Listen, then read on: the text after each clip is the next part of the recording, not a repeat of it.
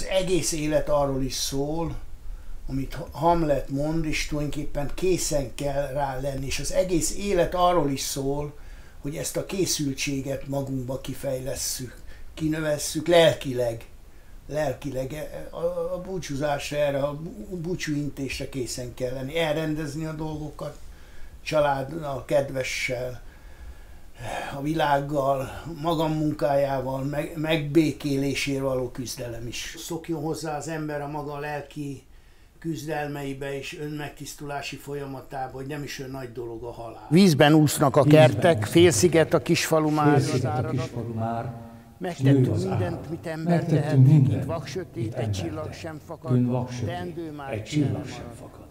A teendő már Istenre marad. Bűzlő olajmécs füstköde alatt fújja az öreg iskola falak között a himnuszt a gyülekezet. Majd a szózatot, majd azt, hogy te benned bíztunk. Kézben a söveg, a kalap, nyakak és tarfejek eredagad. Üstökök gácsér farkai rezegnek a buszkalomtól. Csengőn kikicsap egy kislány hangja, mint lélek És énekel a kurátor, a pap és tíz gyermeke közt a szikár papné, és koromszál és sűrű csizmazag, és rebeg benne a lámpa sárga nyelve, és tenger már a világ, és szakad percenként vadabbul neki eredve a téli eső a sötét vizekre. Bodrog halász, 1948. január 24.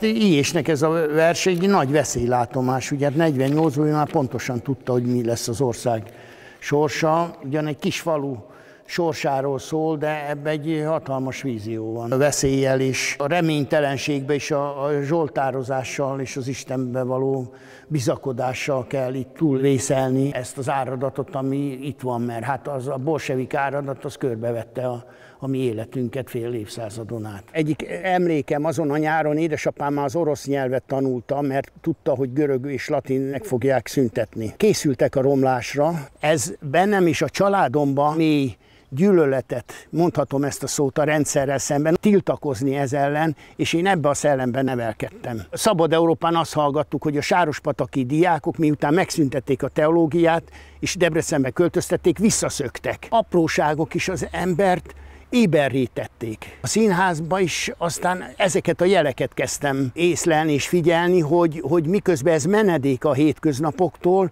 milyen jelek vannak arra, hogy itt a nemet hogy lehet kimondani. Kezdtem felfedezni, hogy a színházban milyen hitéleti jelek vannak. Kultikus pillanatokat élek át bizonyos előadásnál, az élethalálról és a megtartásról, és valami mélyebb és magasabb kérdésekről kezd nekem beszélni. Színház társadalom és lélek megváltó és nemzet megváltó erejében híve prédikáltak. Nyíljon hát az idő, midőn 175 esztendeje még odalen, Vencel bácsi társaságának eleje gyülekezni kezdett. 1837. augusztus 22-én a Kerepesi úton Vörös Marti darabjával életre ébredett a ház.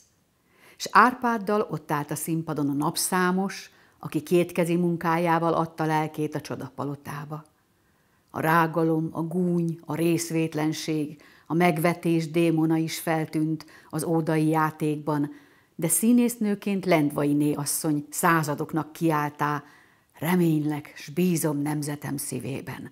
S bú, gond között bár, végleheltemig csak ezt kiáltom, éljen a haza. A színház szeretetében lehet az ember szigorú, de a, egy nemzeti színház gyűlöletére valaki egy programot csinálja, mint ahogy most néhány embernél látjuk, ez egyszerűen mondhatom azt, hogy hazátlanság. Vagy bolondok vagyunk, és elveszünk egy szálig, vagy ez a mi hitünk valóság. Kedves Laci.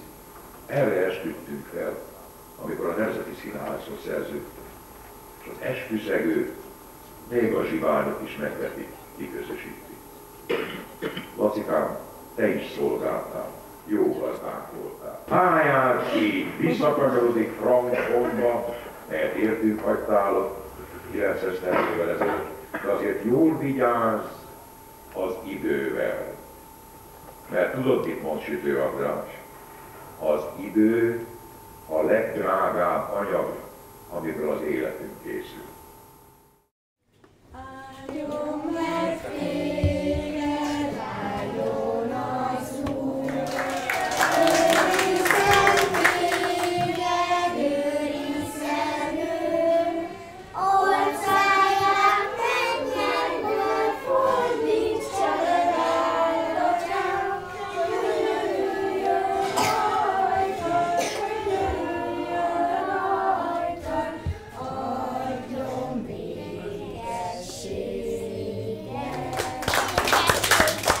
Gyönyörű, nagyon aranyos.